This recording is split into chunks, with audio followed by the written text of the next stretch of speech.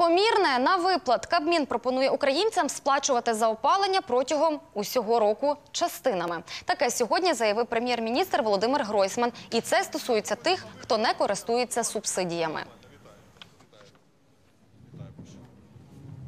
споживаємо сьогодні, платимо 12 місяців. Це буде означати, що навантаження на е, бюджет родини буде е, в розстрочці менше щомісячно, ніж це могло би бути. І фактично, навіть від підвищення до ринкового рівня ціни на бюджетах родин це не позначиться.